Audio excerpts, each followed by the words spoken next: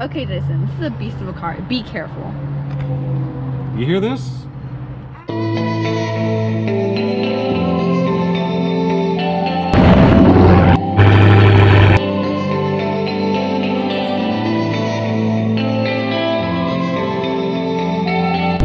Hi, my name is Jason Woods and welcome Chasing the Apex. Behind me I have a Dodge Challenger SRT Hellcat and uh, you're not going to want to miss this. It's an absolute dream.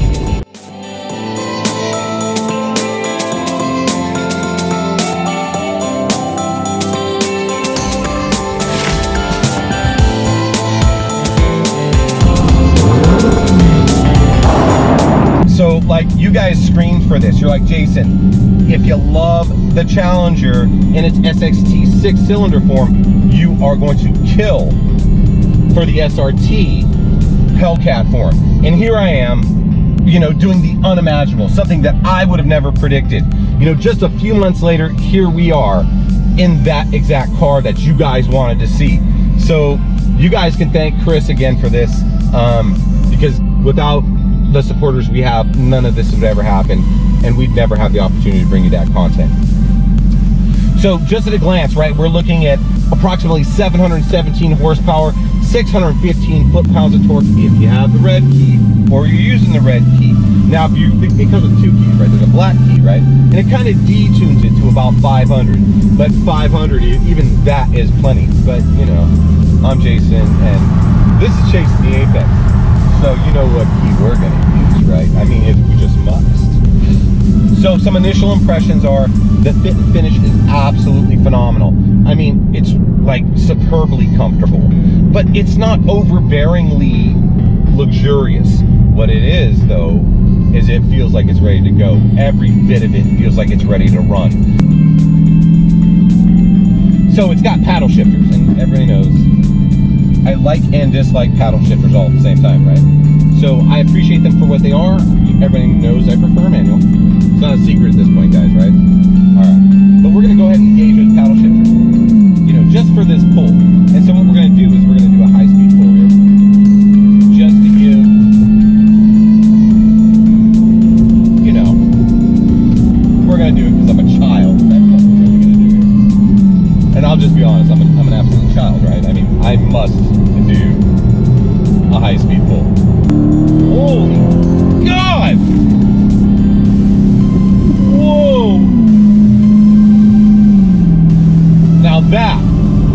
Super intense. I gotta do it again. I, I gotta do it again. I mean, there's, that's intense. Wow.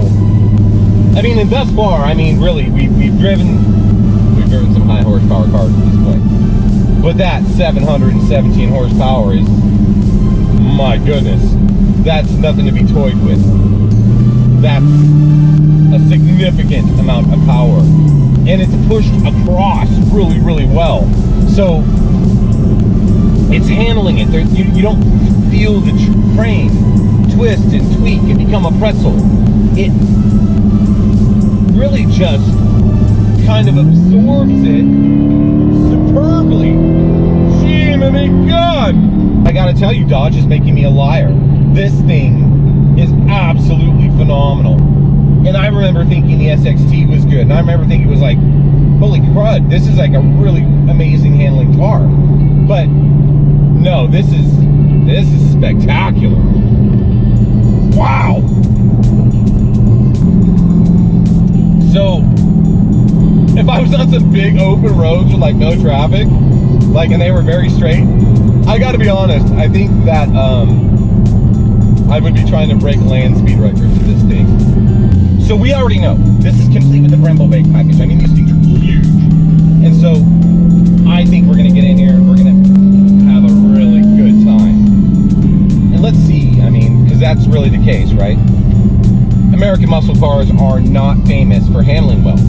And generally, I'm not a believer. I mean, you know, I have my own misconceptions of this. I have my own thought that, you know, because I've experienced um, them only being capable of going fast in a straight line, that that's what I will experience.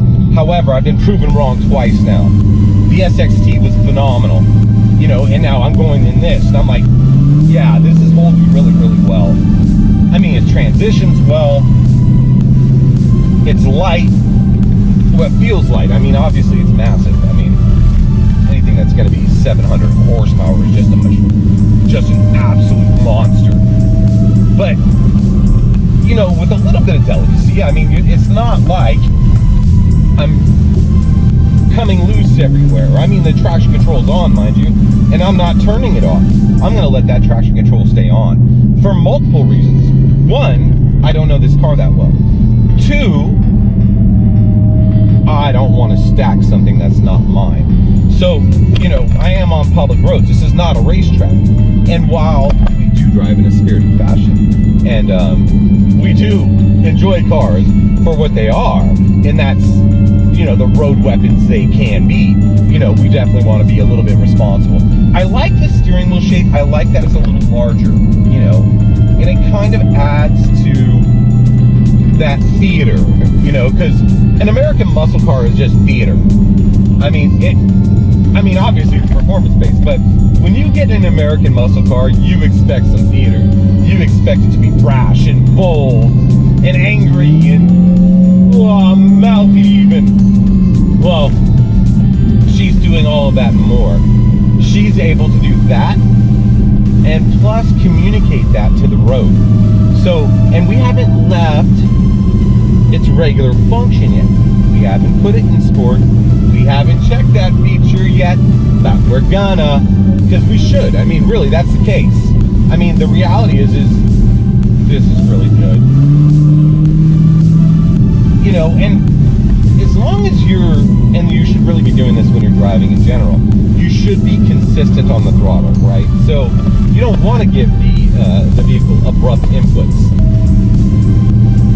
and I want to believe you guys can see that. I mean, what's occurring is, is I'm transitioning rather quickly. And in that, you know, that requires some focus on my part. So, you know, if you're here, if you're like, why, oh, Jason, why is Jason stuttering? Well, because it's good. It's really, really good. You know, so I'm just going to set my engine speed braking here a little early. And then I'm going to push through. Yeah. Yeah, she holds this is really, really impressive. You know, what's most impressive to me is how drivable it is. It's not an animal, it's not, but it, it's it's not designed to be that way. Any driver can go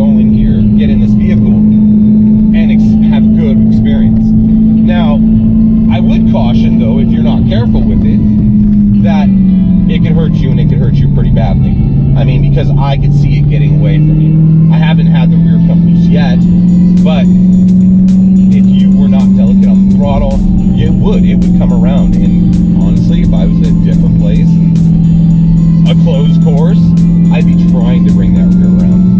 But we're not there. We're doing something different. And so, so final thoughts on the Dodge Challenger um, SRT, right? So, it's damn good. I mean, it's like really, really, really good. And you know what my favorite thing is about this? That I'm surprised. That's my favorite thing when driving cars is walking away going, yeah, I didn't expect that, man. That was good. And I really like that. And I really like that about this car. So, you know, in, in the end, is, she good? She's better than good. And I promise you, if you get this vehicle and you're like, no, it's too much, I'd be pretty surprised. Because I think the engineering was designed to make it feel docile unless you turn the brute on. But even with the brute, with some careful inputs, careful application of throttle, some gentle steering, and trying to dance, not muscle, through a corner or a set of, a series of corner, I, would venture to say that on the track, she would give many of her European counterparts a run for their money. So, thanks for watching Chasing the Apex, and uh, we'll see you next week. Actually, you're gonna see me again this time, this week, because we're gonna do a midweek release, special request, kind of a vlog thing. So stay tuned for that. Thanks for watching Chasing the Apex. Oh, and guys, I don't say this enough. Thank you for all of your support. I want to say thanks again to YC Auto Group, Chris, Mustafa, Sheila. Thank you for all your help. Thank you for hooking us up. Thank you for hooking the hooking the viewers up and letting us see some cool stuff.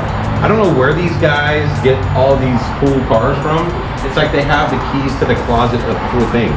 But you guys really gotta check them out. Check out the link below. Again, thanks to Sheila, Chris, and Mustafa from YC Auto Group. Thank you guys for watching Chase the